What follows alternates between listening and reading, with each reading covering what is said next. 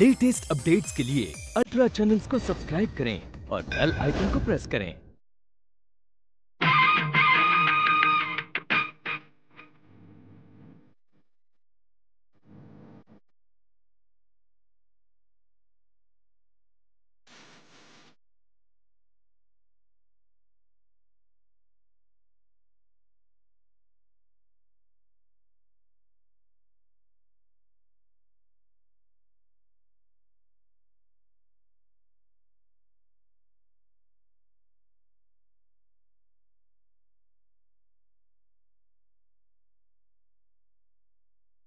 ఇక్కడ ఉండగలవా నువ్వు? నేను ఎక్కడైనా ఉండగలను స్వామి. అరే ఆ బోర్డు ఇక్కడ. ఏం చేస్తున్నావు నువ్వు? ఇప్పుడు మీరు నవ్వుతున్నారు స్వామి. కానీ చూస్తూ ఉండండి తొందరలోనే మీ అదృష్టం ఎలా మారిపోతుందో. మనం వర్షాన్ని ఎందుకు తప్పుపట్టాలి స్వామి? జనం నీతి తప్పి నడుతున్నారు అందుకే వర్షం పట్టడం లేదు. మన ఇంట్లో ఉన్న నల్ల గొర్రెకు పిల్ల పుట్టింది. అది కూడా నల్లగానే ఉంది. ఒకటి రెండు మూడు. ఇంకోటి ఎక్కడికి వెళ్ళింది? నాకు తెలుసు. ఆ కోడి ఎక్కడికి పోయిందో. ఖచ్చితంగా అన్నామలై పొట్టలోకే పోయింటుంది. నా కోళ్ళని దొంగతనం చేస్తాడా? వండుకుని తినేస్తాడా? చూడు నేనేం చేస్తాను.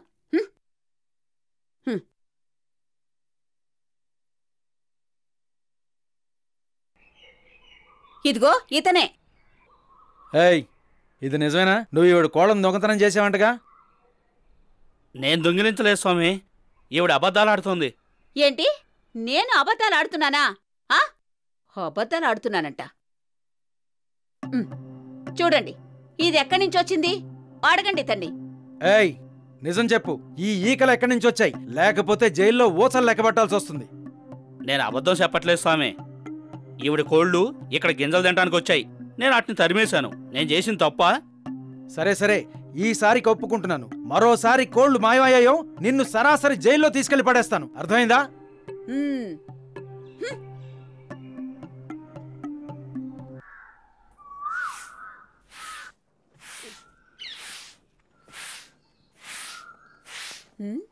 స్వామి మీరతని నెత్తినెక్కించుకుంటున్నారు. మీకు తెలుసా? అతనెంత పెద్ద దొంగో? ఎవరు? మీరెవరి గురించి మాట్లాడుతున్నారు? ఇంకెవరు? మీ తోటమాలి అన్నామలై.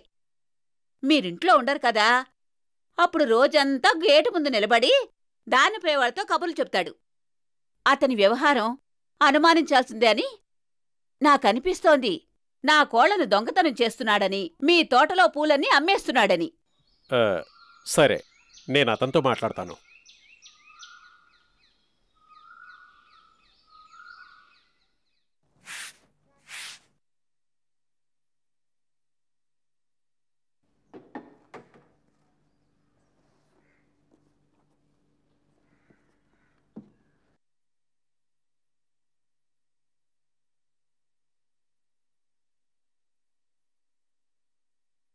సామే మీకు మళ్ళీ ఇంకో టెలిఫోన్ వచ్చింది. మీరు లేరు కదా అని ఎవరు అని అడిగాను. వాళ్ళు ఏమన్నారంటే ఏమన్నారు? Trunk trunk. అప్పుడు నేను ఏమన్నానంటే ఇక ట్రంక్ బ్యాగు ఎవరు లేరు ఇంట్లో కూడా ఎవరు లేరని చెప్పాను. ట్రంక్? అయ్యో భగవంతుడా ఎంత పని చేసావయ్యా? బయట నుంచి ఫోన్ వచ్చి ఉంటుంది. అన్నామలై ట్రంకాలంటే అర్థం ఆ ఫోను వేరే ఊరు నుంచి వచ్చిందని.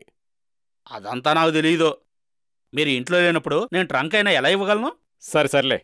నేను నీకు చెప్పాను కదా బయటికెళ్ళి అనవసరమైన మాటలు మాట్లాడొద్దని. ఆ పక్కింటి ఆవిడ ఏమంటుందో తెలుసా? నువ్వు తోటలో పూలు దొంగతనంగా అమ్ముతున్నావట. ఇంతకుముందే ఆవిడ కొడిని దొంగిలించావట. అయ్యో నేను అలాంటి పని ఏమి చేయలేదు స్వామి. ఆవిడ అబద్ధాలు చెప్తోంది. ఆవిడే దేవుడి పూజకి ఇన్ని పూలు కావాలంటే నేనే తీసుకొచ్చి ఇచ్చా. దేవుడి మీద ఒట్టు. నేనేమి అమ్మలేదు స్వామి. నేనేమి అమ్మలేదు. ఆవిడ పిచ్చిది. నా గురించి అలా అంటుందా? అన్నామలయ్య గురించి. చూస్తా ఆవిడ సంగతి. తేలుస్తా ఆవిడ సంగతే. నేను దొంగనా? నేను దొంగనా? మా నాన్న నన్ను దొంగ అన్నందుకే ఇల్లు వదిలి వచ్చేశాను. మద్రాసు వెళ్ళి కూలీగా పనిచేశాను. చాలా కష్టపడి పనిచేసి కడుపు నింపుకున్నాను.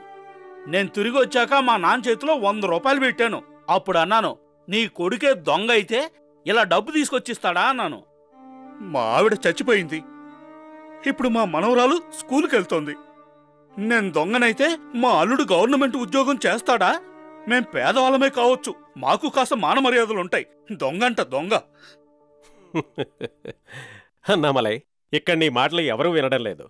గోడలతో ఏం మాట్లాడుతున్నావయ్యా? మీకు తెలియదు స్వామి గోడలకి చెవులా నుంచి నేను మాట్లాడే ప్రతి మాట ఏంటోంది? ఆవిడికి ఎంత ధైర్యం నన్ను కోళ్ళ దొంగ అనడానికి? ఆవిడ కోడి నాకెందుకండి? ఆవిడ కోడిని ఆవిడ ఇష్టం వచ్చినట్టు చేసుకోమనండి. మధ్య నాకెందుకు? ఇంకోసారి గనక ఆవిడ కోళ్ళు తోటలోకి వస్తే వాటి పీకలు కోసేస్తా. అది ఇప్పుడే చెబుతున్నా స్వామి.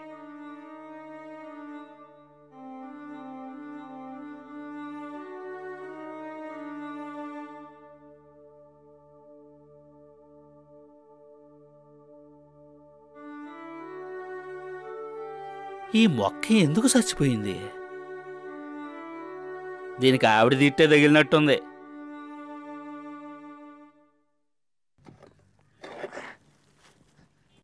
అన్నామలై నీకు ఉత్తరం వచ్చింది.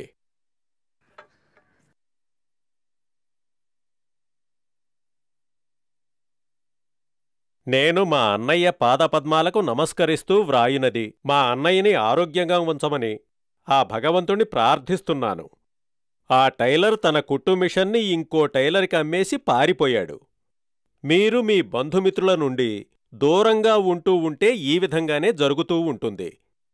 ఇట్లు మీ తమ్ముడు అమావాస్య.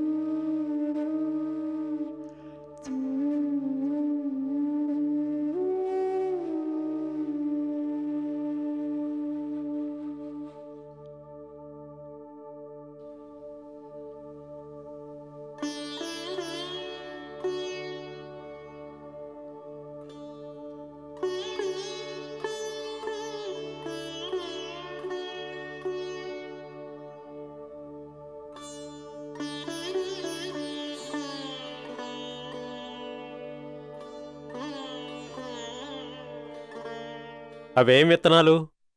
పోలే స్వామి.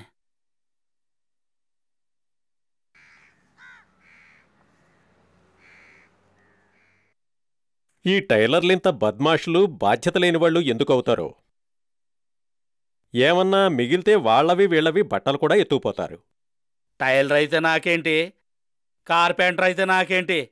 నేను ఎవరికి భయపడిన స్వామి. ఆ మీ తమ్ముడు రాశాడే? ఆ టైలర్ ఎవరు? వాడా. వాడో బద్మాష్ మహా మోసగాడు స్వామి నాకోసారి ఓ మనీ ఆర్డర్ వచ్చింది స్వామి ఆ టైలర్ దాని గురించి ఎలా తెలుసుకున్నాడో తెలుసుకున్నాడు. నాకో కుట్టు మిషన్ ఇప్పించమని వాడు నా వెంట పట్టం మొదలుపెట్టాడు. నా మనీ ఆర్డర్ గురించి నీకు ఎలా తెలిసిందని వాడి చెంప పగిలేలా ఒక్కటిచ్చాను. నేను వాడి చెంప పగలగొట్టినందుకు ఊళ్ళో పెద్దలంతా నేను వాడికి డబ్బులు ఇవ్వాలని నిర్ణయం తీసుకున్నారు. వాళ్ళు నిన్ను డబ్బు ఇవ్వమని ఎలా చెప్తారు? వాళ్ళెవరయ్యా చెప్పడానికి? మా ఊళ్ళో అలాగే జరుగుతుంది స్వామి. పెద్ద పెద్ద వాళ్ళు చెప్పారంటే మేము ఇని తీరాల్సిందే. అందుకే నేను డబ్బు ఇవ్వాల్సి వచ్చింది. అతను మా అరుగు మీద మిషన్ పెట్టుకున్నందుకు అద్దె కడుతున్నాడు. వడ్డీ కూడా ఇస్తున్నాడు. ఆ టైలర్ వెళ్ళిపోయాడు. ఇప్పుడు ఆ అరుగు మీదకి ఇంకో కొత్త టైలర్ వచ్చాడు. అతను అద్దె ఇవ్వడు వడ్డీ కట్టడు. ఇప్పుడు మేము ఏం చేయాలి స్వామి? మాకు నిద్రపోవడానికి కూడా చోటు లేదు. ఆ కొత్త టైలర్ అక్కడి నుంచి కదలడు. ఇంటి లోపల గొర్రెలు వాటి పిల్లలు కట్టేసి ఉన్నాయి. ఇంట్లో పెద్దవాళ్ళు ఎక్కడ నిద్రపోవాలి అని నన్ను అడుగుతున్నారు. నా భార్యలేమో వాళ్ళలాగే రోడ్ల మీద మేం కూడా పడుకోవాల్సి వచ్చేట్టయితే పుట్టింటికి వెళ్ళిపోతామని బెదిరిస్తున్నారు. ఇందులో కొత్త విషయం ఏముంది స్వామి? ఆడాళ్ళు ఎప్పుడు పుట్టింటికి పోవాలని చూస్తుంటారు. వాళ్ళకి పుట్టింటికి పోవడానికి ఓ చిన్న కారణం దొరికితే చాలు. వాడు మా తమ్ముడు ఉన్నాడే ఒట్టి పిరికి పంద పిరికి పంద.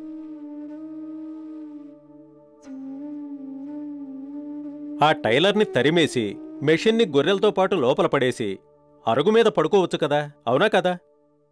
ఆ టైలర్ ఉన్నాడే సామే ఆడో పెద్ద పైల్వాన్. మా తమ్ముడున్నాడే వాడు తొమ్మిది మంది పిల్లలకి తండ్రైనా ఉత్త శాతగానోడు.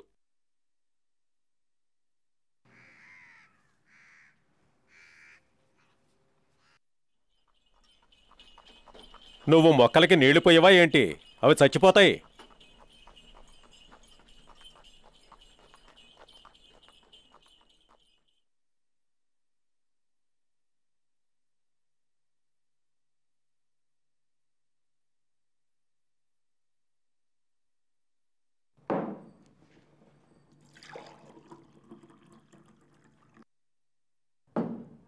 సామే నేను మా ఊరిల్ రావాలి.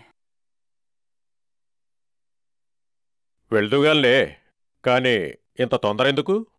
నేను బాండు మార్చాలి కొత్త టైలర్ని తెచ్చిపెట్టాలి నేను ఊరు వెళ్ళి తీరాలి సామే. ఎప్పుడెళ్ళాలి?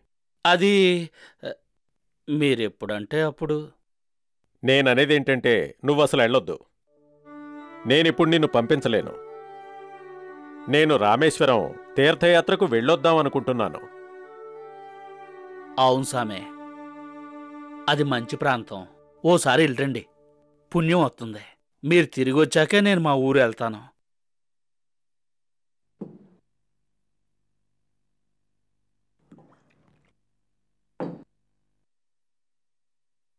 సామి నేను వెళ్ళాలి స్వామి అలాగే వెళ్దుగాలే కానీ నేను రామేశ్వరం నుంచి తిరిగొచ్చాక. మీరు ఎప్పుడు వెళ్తున్నారు సామి నేను ఇంకొంతమంది యాత్రికుల కోసం ఎదురు చూస్తున్నాను పది రోజుల్లో బయలుదేరతాను.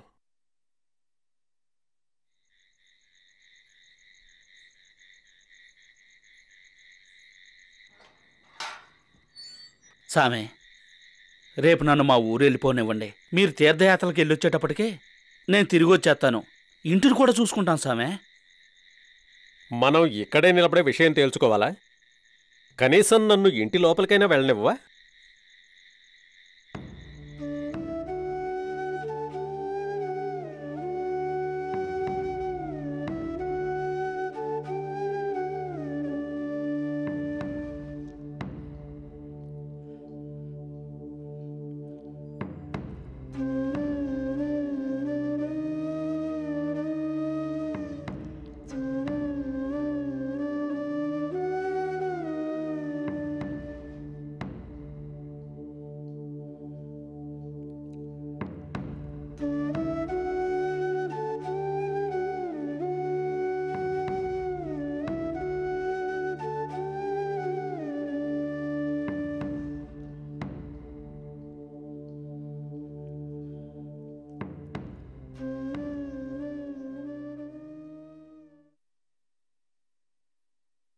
నువ్వు పది రోజుల్లో వెళ్ళొచ్చేద్దాం అనుకుంటున్నావా?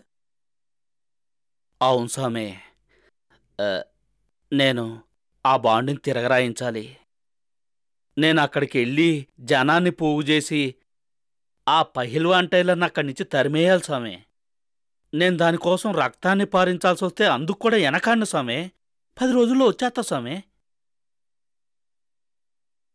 నువ్వీ పనులన్నీ పది రోజుల్లో చేయగలననుకుంటున్నావా? నీకు అంత నమ్మకం ఉందే? ఈ పనులన్నీ పది రోజుల్లో అయిపోతాయని? ఆ, కాకపోతే ఒకరోజు అటు ఇటుగా వచ్చేస్తాను స్వామి. నేను నా మాట నిలబెట్టుకోవడానికి తప్పకుండా వస్తాను స్వామి. ఒకసారి తిరిగి వచ్చానంటే మళ్ళీ రెండేళ్ళ వరకు వెళ్ళను స్వామి. లేదు లేదు. నేను నిన్ను పంపలేను.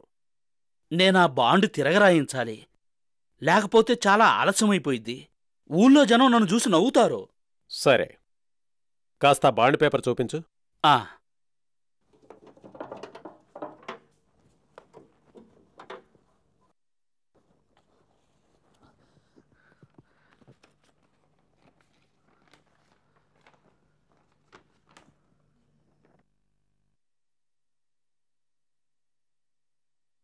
టైలర్ గురించి గాని మిషన్ గురించి గాని ఇందులో ఏమీ రాసిలేదు. కాస్త చూడండి సామే. రంగా అనే పేరు ఖచ్చితంగా ఉంటుంది. రంగా అనే పేరైతే ఉంది. కానీ ఎక్కడ అతను టైలర్ అని రాసిలేదు. ఎవరైనా అయి ఉండొచ్చు. చెత్తెత్తేవాడు కూడా కావచ్చు. లేదు సామే. అలా జరగడానికి ఇల్లేదు మీరు కాస్త చదివి చెప్పండి స్వామి అందులో ఏం రాసిందో. సరే. ఈ బాండ్ పేపర్ దాచిపెట్టు. ఇది ఎందుకు పనికిరాదు. నేను నీకు వంద రూపాయలు ఇస్తాను. తీసుకో. కానీ సామే. సరే ఒక మాట చెప్పు. నీకు ఊరికెళ్ళడానికి ఎంత డబ్బు ఖర్చవుతుంది? కనీసం ప్యాసింజర్కి పది రూపాయలు ఇంకా. తిరిగి రావడానికి పది రూపాయలు అవునా? నీకు తెలుసా? ఇంతవరకు నువ్వు వెళ్ళి రావడానికి ఎంత డబ్బు ఖర్చు పెట్టుంటావో? కానీ నాకు అతను వడ్డీ కూడా ఇస్తాడు. చూడు నువ్వు ఆ బాండ్ పేపర్ నాకిచ్చేయి. నీకెంత డబ్బు కావాలో అంతా నేనిస్తాను. నువ్విక్కడే ఉండు. అర్థమైందే? మీకు మీకు ఇదంతా అర్థం కాదు స్వామి. ఈ బాండు నా దగ్గర ఉన్నంత వరకు నేను ఎప్పుడైనా కోర్టుకెళ్ళొచ్చు. కోర్టుకెళ్తావా? కోర్టుల చుట్టూతా తిరిగి ఇంకా డబ్బు ఖర్చు పెడతావా? ఈ బాండ్ని తగలబెట్టేస్తే పని చౌకగా అయిపోతుంది. నా మాట విను. మీరు మీరు అర్థం చేసుకోవడానికి ప్రయత్నించండి స్వామి. నేను ఇదంతా కేవలం డబ్బు కోసం చేయడం లేదు. నన్ను ఎవరైనా మోసం చేయడం నేను సహించలేను. ఇది నాకు మంచిగా అనిపించదు. నేను పది రోజుల్లో మళ్ళీ తిరిగి వచ్చేస్తాను స్వామి. సరే.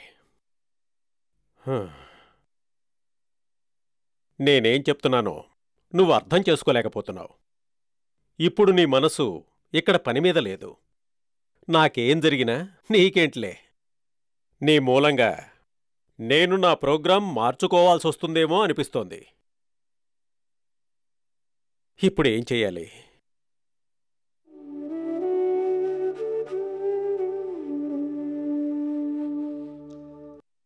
సామే? సామే? ఏంటి?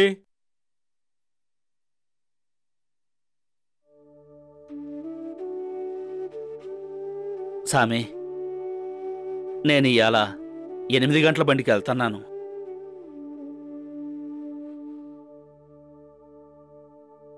ఇదిగో తీసుకోండి గది తాళం చెవి.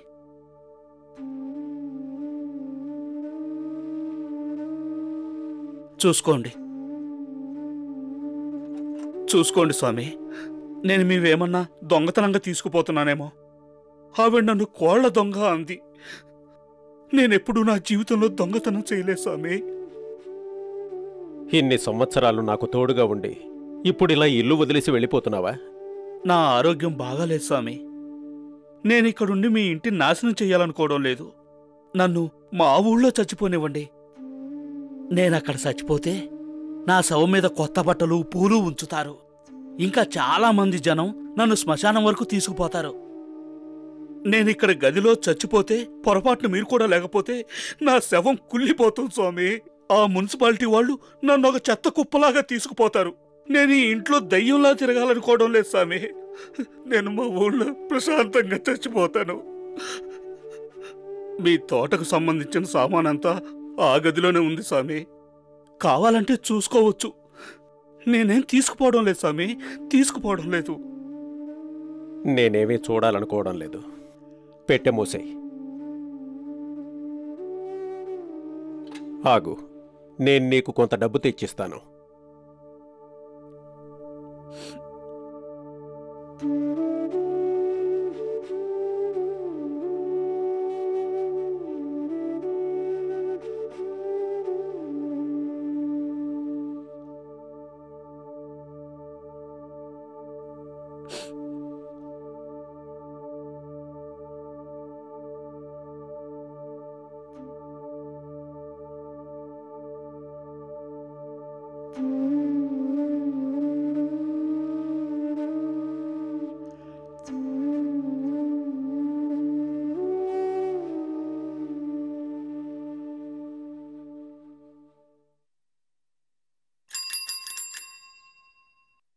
Post post. మీకు ఉత్తరం వచ్చిందయ్యా.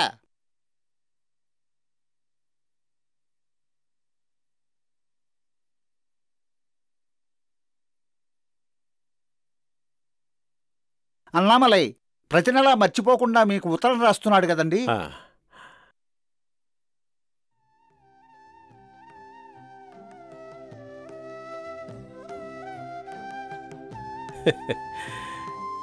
ఇన్ని సంవత్సరాలైంది ఏమాత్రం మారలేదు. ఇప్పటికీ అదే స్థాయిలో భారీ పదప్రయోగాలతో ఉత్తరం రాస్తున్నాడు. చూడు. నా యజమాని మీ వంటి మహానుభావుడు ముందు నాలాంటి అనామకుడు ఏదో చెప్పాలని ప్రయత్నిస్తున్నాడు.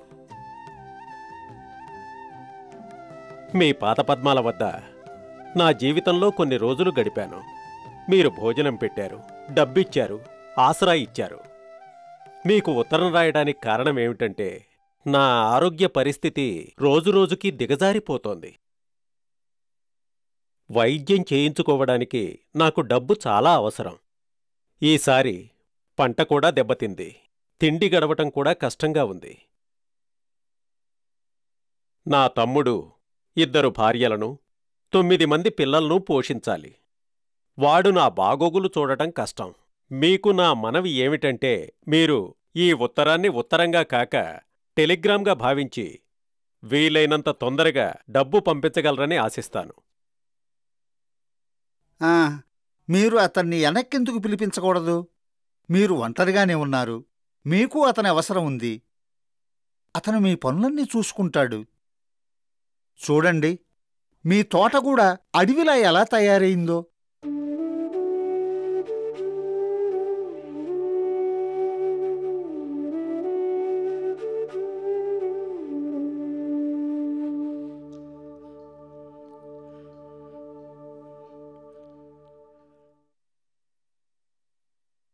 ప్రియమైన అన్నామలై ఈ ఉత్తరం చదివి నువ్వు సంతోషిస్తావని ఆశపడుతున్నాను.